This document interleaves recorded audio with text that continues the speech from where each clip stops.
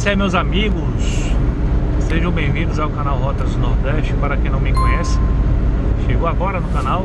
Me chamo Rodrigo Nogueira, sou promotor da paz. Compartilho estradas, trilhas, direção defensiva em rodovias, planejamento de viagens, cultura, entretenimento, meio ambiente, enfim, várias informações conservadoras para toda a família. Estamos no quilômetro 393 da BR 030, isso mesmo.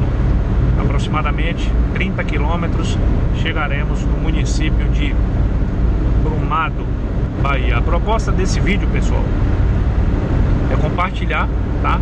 Um tema muito importante, que é rodovia com aclive e declive. Vamos dobrar atenção. Ave de rapina, tá vendo, galera? O melhor urubu não sai da frente, não. Tá vendo? Perigo. Rapaz, se eu não reduzo a velocidade, tenha certeza que não ia dar outra. Tenha certeza que ia ser uma pancada tremenda. Ele ia bater na grade do motor, ia afundar aí radiador, para-choque, presilha de farol. Ia ser um prejuízo danado. E se ele voasse um pouco mais alto, ia colidir no para-brisas, ia quebrar, de repente, podia até cair aqui dentro do carro. Essa é a prova de que é perigoso bater de frente com o animal, por menor que ele seja. A negada pensar, ah, bater em um boi, em um jegue, em um bode, em um cachorro, dá PT, arregaça tudo, beleza. Mas galinha, pato, marreco, gavião, urubu, que você imaginar também, o PT é previsto, viu? O BO é grande, então dobre atenção. Vocês viram que o urubu ele subestima o condutor, ele quer que você mude de faixa. Eu reduzi abundantemente a velocidade, para isso olhei no meu retrovisor para certificar se tinha alguém na minha retaguarda. Mas graças a Deus não tinha. E aí já sabe, né? Reduzir, vocês viram que mesmo reduzindo foi bem próximo para o elemento sair da frente, mas de boa. Acabou que mudou um pouco o foco do vídeo. Então se você tiver em região de aclive e declive, tenha certeza que a atenção tem que ser dobrada.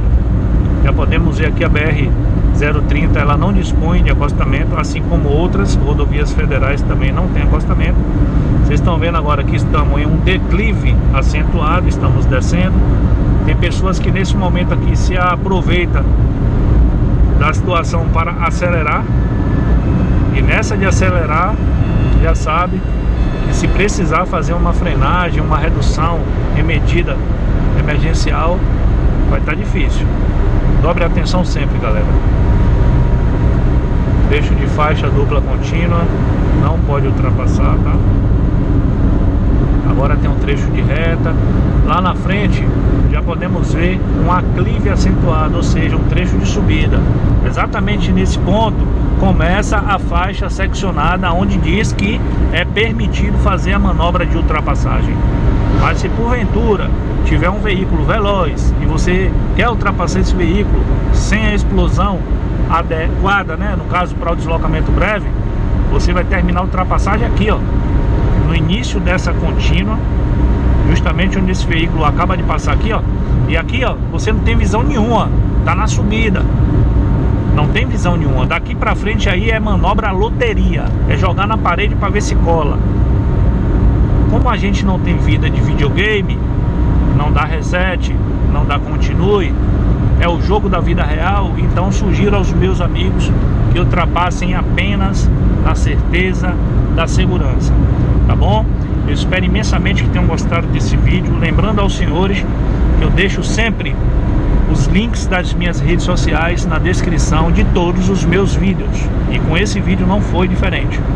Conto também com a sua visita no Instagram, Facebook, página no Facebook, que lá estou sempre colocando vários conteúdos diferenciados com a modalidade e abordagem com a mesma proposta do canal Rotas do Nordeste. Porém, nem tudo que eu boto lá eu boto cá, entendeu?